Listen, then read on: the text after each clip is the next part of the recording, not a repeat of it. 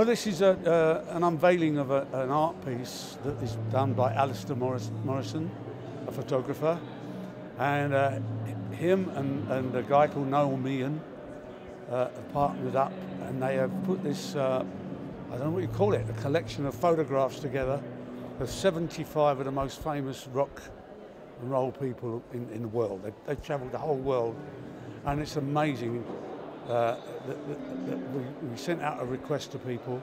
This is for charity. It's for Teenage Cancer Trust in Britain and Teen Cancer America in the States. So we sent out requests to everyone we knew, the begging letters, you know, offers they can't refuse.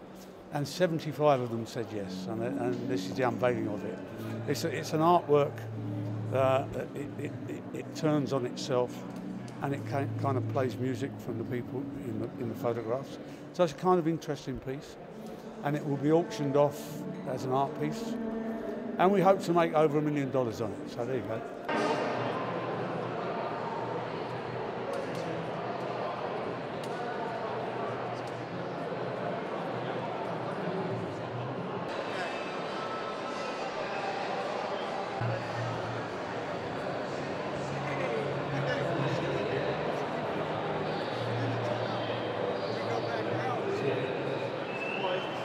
It's mad. I mean, you go from Jon Bon Jovi in New York um, in uh, freezing weather, you go across to um, to see Eddie Vedder in Seattle, snowing, and then you come to see Iggy Pop in Miami and it's 30 degrees. So, you know, what do you pack? I mean, it's as simple as that sometimes. It's not about, you know, you're going and you're doing the pictures. But I think what was nice is that because it was a busking theme and because I wanted a few down and outs, within that. You know, I was I was finding these blankets for people to wear, and Iggy Pop was was always going to take his shirt off, so I knew that he, he could he could do that. But then Ringo did it, and Donovan did it, and you know, it just becomes nice that they understand that the whole thing is very important. And I think you know, once you start to get that, you start to begin to see how the whole thing is going to be put together. But you know, then I've been sitting at a computer for probably two months still traveling, still photographing. In the last week, I photographed Ronnie Wood, Mark Knopfler, John Oates from Hall & Oates, uh, Mick Hucknall, um, you know, it, and Tom Jones. It just it just went on and on and on. So uh, it just it's, it's it's a privilege really to have so many of them be part of something, and I think I think they are so their friends are no longer with us. In the last 25 years, last three years, 25 of them have died. So, you know, Tom Petty recently, Fats Domino. Um, it's just we wanted to honour as many of those great musicians and music in general as we possibly could.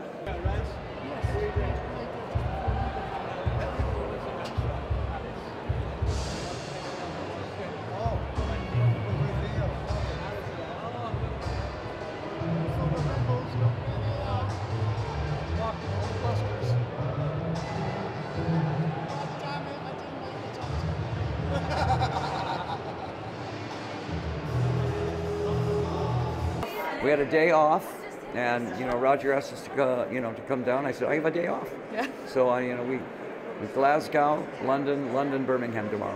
In fact, they planned it especially for you. yeah. Well, I mean you know, I've known Roger forever. You know, from 1968, we go back way a long time. So, you know, if he's got a if he's got a thing, I'll do it for him. Well, with a few survivors still standing up, it's um, that's very good.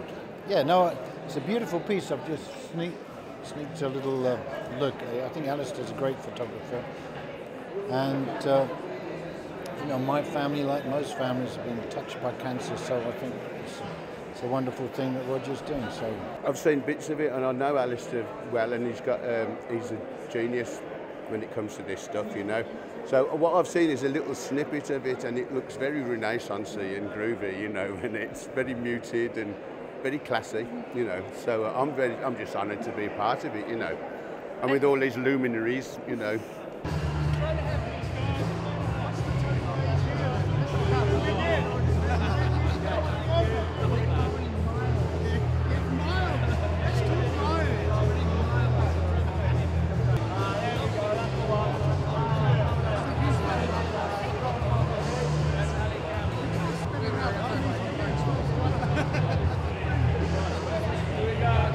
Well, it was freezing, So I turned up in um, a sort of flying jacket, you know, with a big sheepskin collar, and I thought, this, you know, he's not going to want this, but he went, perfect.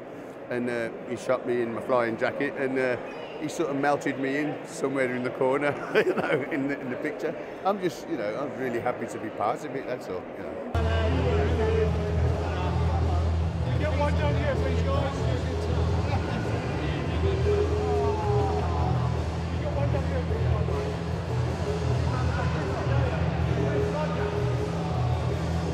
Well, Alistair Morrison came to Mallorca, where I, is where I was, and it was only about six weeks ago. And uh, he looked at me in our mountain retreat in Mallorca, and he said, uh, "Have you got a, a, a robe or a cape of some kind?" I said, "Linda, my wife, is here, my sunshine supergirl." She said, "Yeah," and she brought out a, a, a Laney cashmere throw, and he said, "Put it on the shoulders." Because I think you're going to need to be classic with no kind of fashion that looks 20th century or 16th century. He wanted it ancient. And so I threw this on, and he took a photo in about five minutes against one of the walls. So I haven't seen it, so I don't know. Pretty impressive, isn't it? It's pretty good. You know, we were on the road when we took the picture. So, uh, i i- you know, when you're traveling, it's one of those things where you have to like, okay, you got to put a room together now and take the shot and everything. But you know, the charity thing is something that I think when you get 50 years in the business, you do as much as you can. Mm-hmm. You know, you do as many things as you can because I mean, if your name helps out kids, great. You know, I mean, how, how good is that?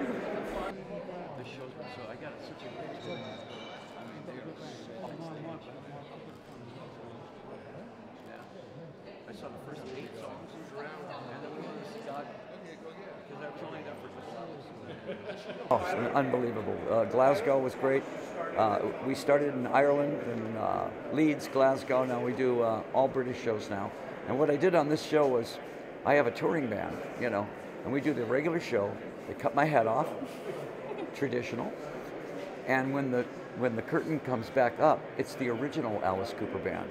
So I got all the guys from the original band, and we do five shows, uh, songs at the end of the show.